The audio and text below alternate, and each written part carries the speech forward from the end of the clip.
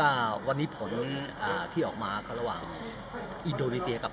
เมียนมาแล้วก็ที่กำลังแข่งกันนี้คือเวียดนามกับมาเลเซียทำทีมชาติไทยต้องทำการบ้านให้หนักมากยิ่งขึ้น แล้วก็ประมาทไม่ได้ แต่ละทีมมี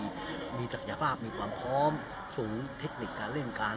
พัฒนาของเขาสูงมากนะครับแต่ทีมไทยเราก็ไม่ประมาทนะในเรื่องของ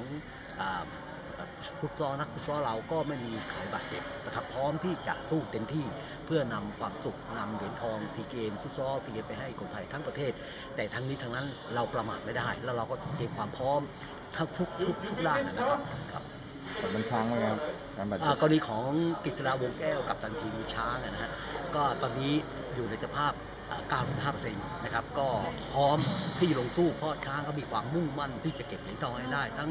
อ่าโมฮัมหมัดทุกทุกคนทุกอย่างพร้อมหมดนะครับผสมก็กลมเกลียวอ่าแล้วเราร่วมแรงร่วมใจทั้ง staff โค้ชทั้งนักกีฬาทั้งทีมเวิร์กต่างๆ เราร่วมแรงร่วมใจภายใต้ธงชาติไทยเราสู้ตายเพื่อนำเหรียญทองกลับไปฝากพี่น้องคนไทยทั้งประเทศให้ได้ครับ